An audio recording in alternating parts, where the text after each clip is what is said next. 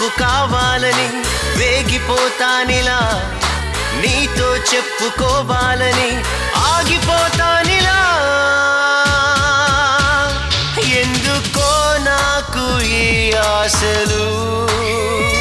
ఎందుకో నాకు ఈ ఆశలు? మనసా నువ్వే నా లోకం మనసా నువ్వే సర్వస్వం తెలుసా?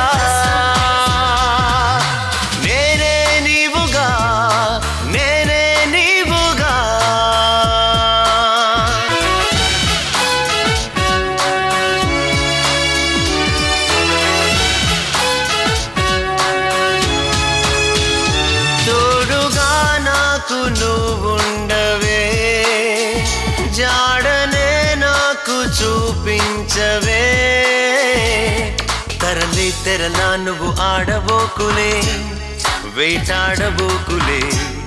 కలలా కథలా నువ్వు సాగబోకులే వెంటాడబోకులే. నింగే నాకు అందాలని రేగిపోదామిలా ఇలపై నిలిచి పోరాడుతూ అందుకుందామిలా.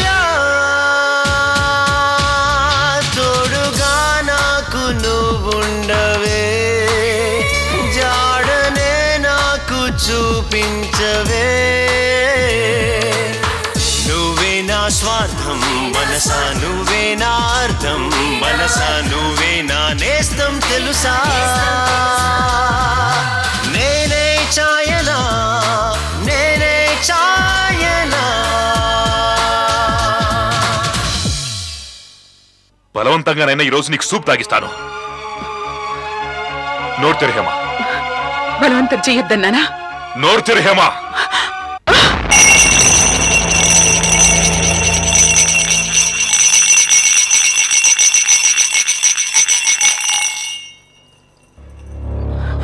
ఒక మనిషి ప్రాణాలు తీసిన మృగానివి నువ్వింతకన్నా ఏం చేయగలవు?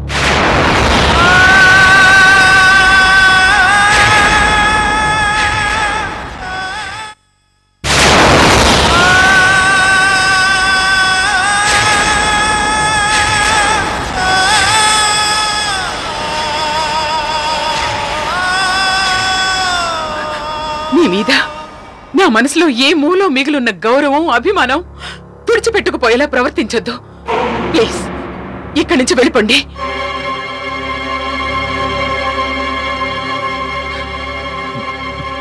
ఎందుకు ఎందుకు నన్ను ఇలా వేధిస్తున్నావు హేమ? నేను ఎవరి కోసం ఇదంతా చేశాను హేమ? గాయత్రి కోసం కాదా? తన సంతోషం కోసం కాదా? అదర్థం చేసుకోవే. మీ నోటితో మీరే మొట్టమొదటిసారి చేసింది ఒప్పుకున్నారు.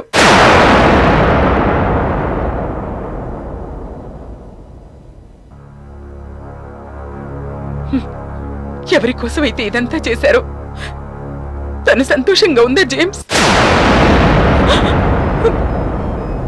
లేదు పిచ్చిదైపోయింది. ఎందుకో తెలుసా? మీరు చేసింది మహా పాపం కాబట్టి. పిల్ల కోసం ఇంకొకరి పిల్లను బలి తీసుకున్నారు. అంత స్వార్థంతో మృగాలు ప్రవర్తిస్తాయేమో గాని మనుషులు ప్రవర్తించకూడదు. చాలా పెద్ద తప్పు చేశారు జేమ్స్. క్షమించలేనంత పెద్ద తప్పు చేశారు. తప్పు చేస్తే శిక్ష పడాలి. నేను మీ భార్యను కాబట్టి మీకు శిక్ష పడేలా చేయలేను. అందుకే మీరు చేసిన తప్పుకి నేను శిక్ష అనుభవిస్తాను.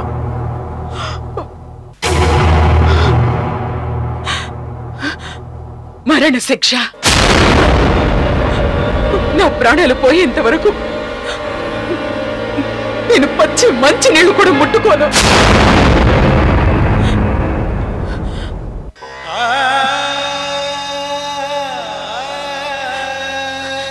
వెళ్ళండి జేమ్స్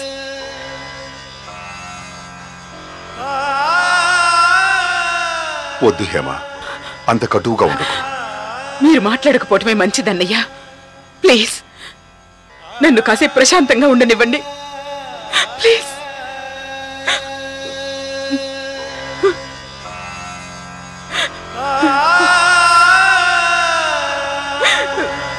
Ah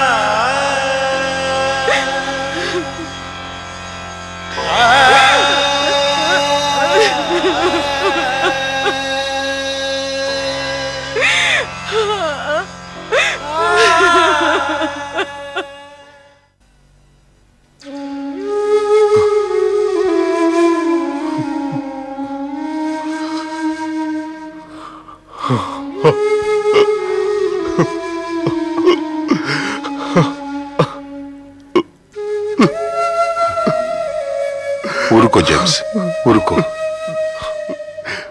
ఇప్పుడు ఎలా విల్సన్ నేనేం చేయను? హేమ కోపంలో ఏదో అని ఉంటుంది. కానీ నిజంగా తన ప్రాణాలు తీసుకుంటుందా? నెమ్మదిగా నచ్చ చెబుదాంలే.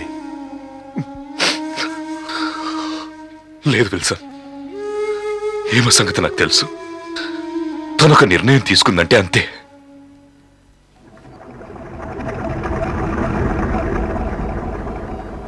హేమకి ఇదంతా ఎలా తెలిసింది జేమ్స్? ఇంకెలా తెలుస్తుంది? ఆ రఘువర్మే చెప్పుంటాడు. మొన్న గాయత్రిని చూడ్డానికి వాళ్ళ ఇంటి దాకా వెళ్ళి వెనక్కి తిరిగి వచ్చేసానంది కదా? అది నిజం కాదు. హేమ అతడి ఇంట్లోకి వెళ్ళింది అతనితో మాట్లాడింది. అప్పుడే అప్పుడే ఆ రఘువర్మ నా గురించి నూరిపోతుంటాడు ఆ రోజు నుంచే హేమలో మార్పు వచ్చింది. ఖచ్చితంగా ఖచ్చితంగా ఇది రఘువర్మ చేసిన పనే. యాస్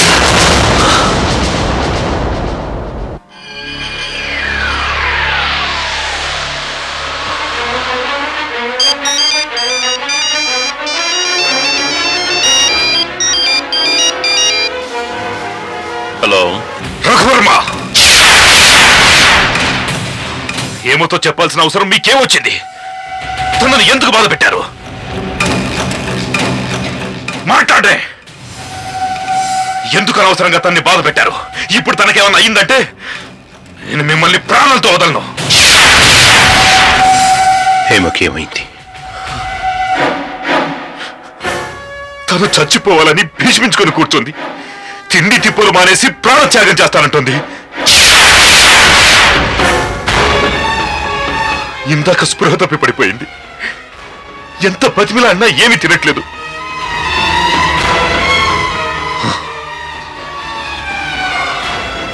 నిజంగా తనకేమన్నా అవ్వాలి? మిమ్మల్ని.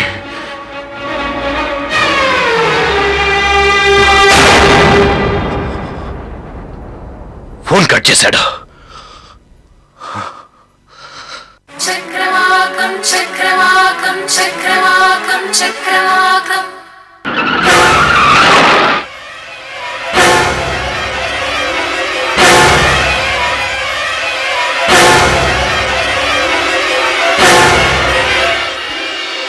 ఏమేది? పైన గదిలో ఉంది.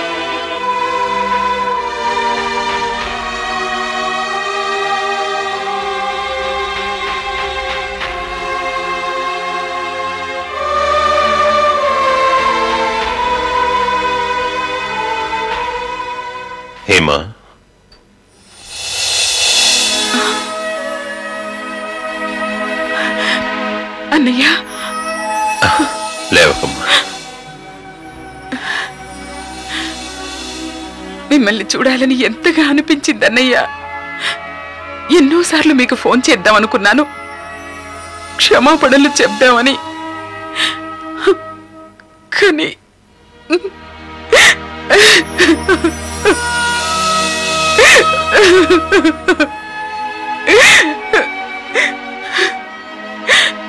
నన్ను క్షమించండి అన్నయ్య. నిజంగానే జేమ్స్.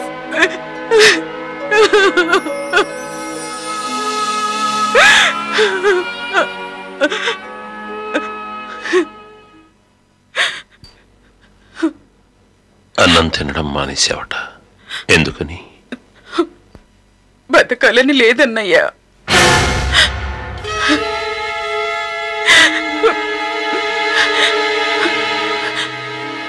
ఆయన ఇంకొకరి ప్రాణాలు తీయగలిగారని తలుచుకుంటేనే నాకు బతకాలని లేదు. ఇంకొకరి ప్రాణాలు తీయడం ఎంత పెద్ద పాపం? మన ప్రాణాలు మనం తీసుకోవడం కూడా అంతే పెద్ద పాపం అని నీకు తెలీదా హేమా?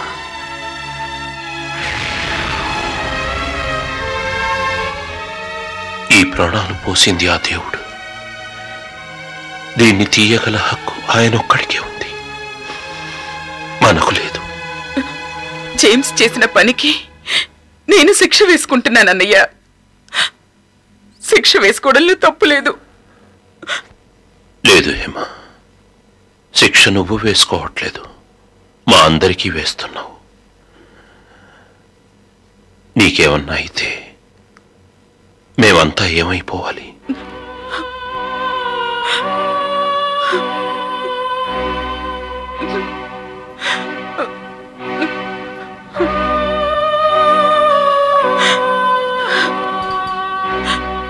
నీకు చిన్న బాధ కలుగుతుందంటేనే నేను స్థిమితంగా ఉండలేను.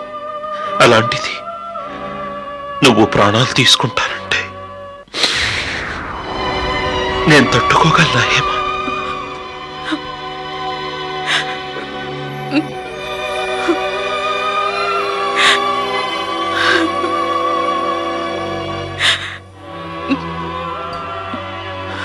గాయత్రి సంగతి ఏంటి? నీకేమన్నా అయితే తనేమైపోతుంది? ఆలోచించావా?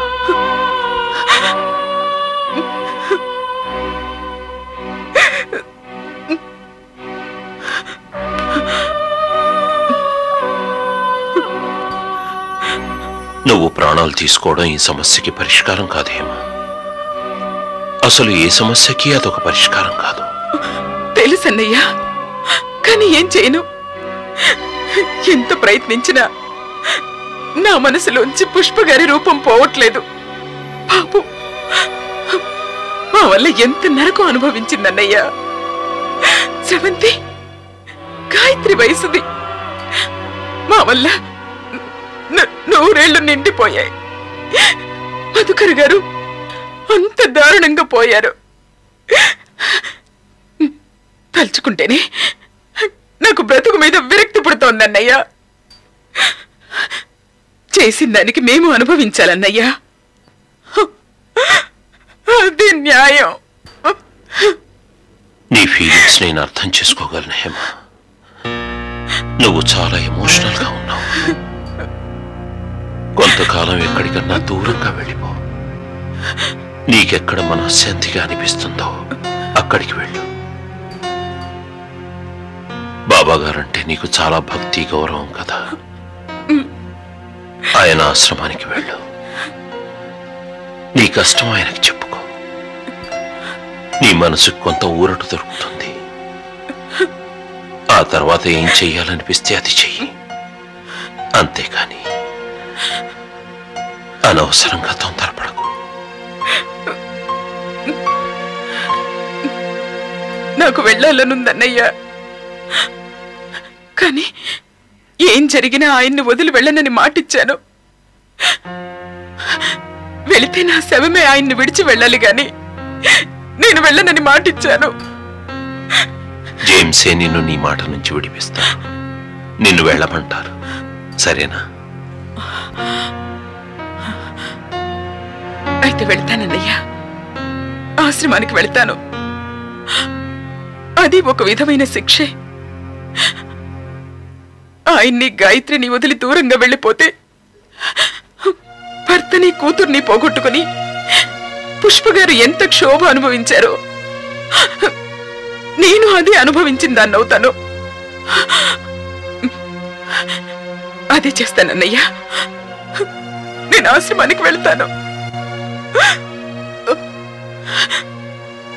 థ్యాంక్స్ అన్నయ్య. ఇప్పుడే వస్తాను.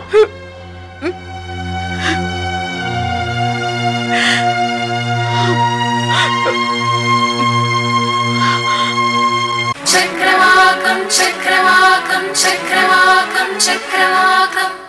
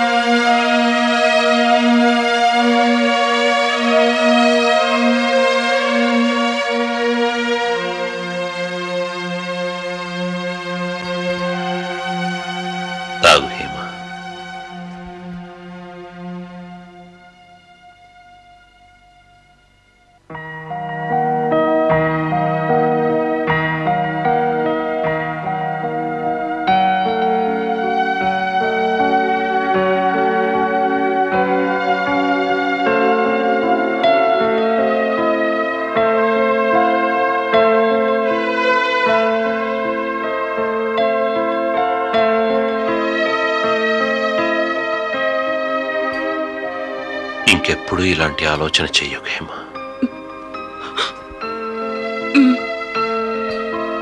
చెయ్యవు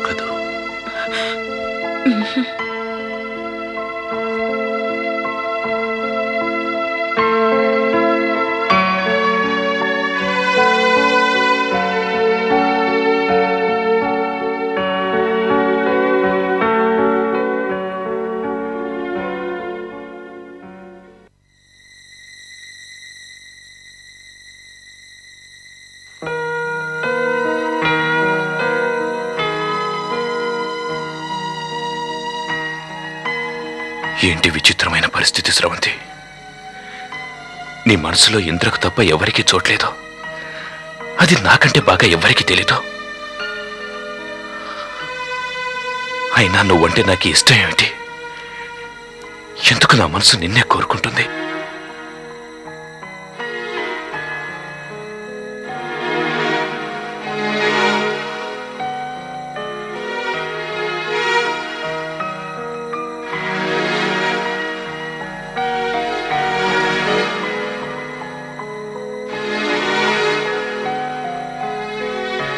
నేను ఇంకెక్కడ ఉండలేను. దూరంగా వెళ్ళిపోతాను. కానీ ఎలా వెళ్ళను? నీకు నీ పాపనివ్వకుండా వెళ్ళిపోవడం స్వార్థం అవుతుంది.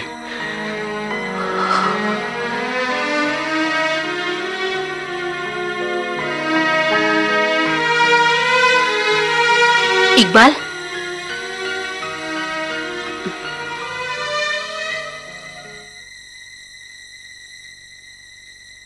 ఏంటి ఆలోచిస్తున్నావు? ఏం లేదు. చెప్పు. పాపను అక్కడి నుంచి షిఫ్ట్ చేసేశారు కదా. ఇప్పుడు ఎక్కడుందో తెలుసుకోవాలి. ఒకసారి హరిని కలుస్తావా? హరిని కొంతకాలం కలవద్దన్నాను స్రవంతి. ఫోన్లు కూడా చేయొద్దన్నాను. మనకు సహాయం చేసింది హరేనని బాబాకి ఖచ్చితంగా అనుమానం వచ్చుంటుంది. అతన్ని వాచ్ చేస్తూ ఉంటారు. కొంతకాలం దూరంగా ఉండటమే మంచిది. మరెలా ఇక్బాల్? ఏదైనా అతి ముఖ్యమైన విషయం అయితే సెల్కి ఫోన్ చేయమన్నా. పాప గురించి తెలిస్తే తప్పక చేస్తాడులే.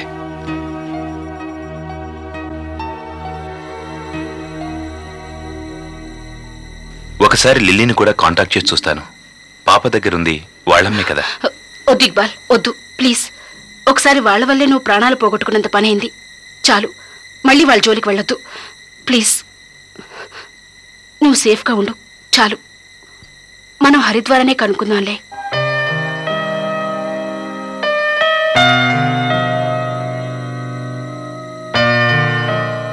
నేను కలవాలంటుంది లిల్లీని. తనతో మనకి ఏ ప్రాబ్లం ఉండదు. తను మనల్ని సపోర్ట్ చేస్తుంది.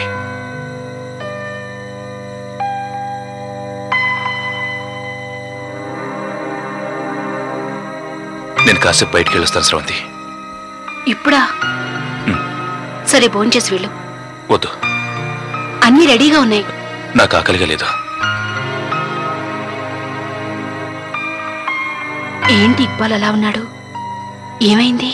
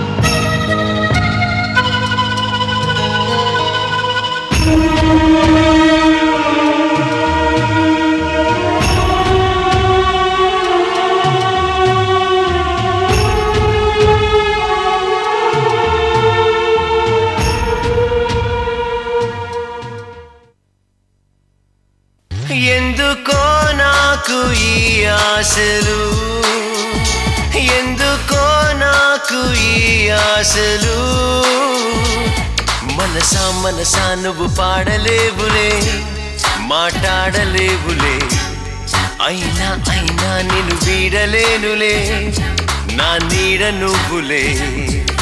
ప్రేమే నాకు కావాలని వేగిపోతానిలా నీతో చెప్పుకోవాలని ఆగిపోతానిలా.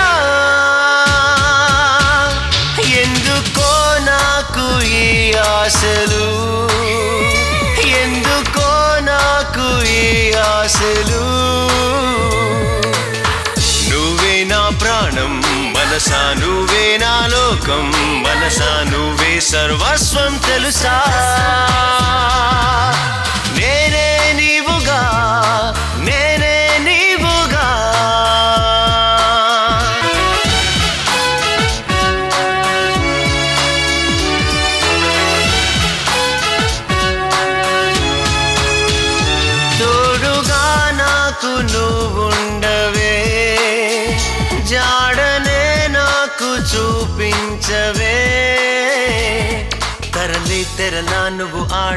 ఆడబోకులే వేటాడబోకులే కలలా కథలా నువ్వు సాగబోకులే.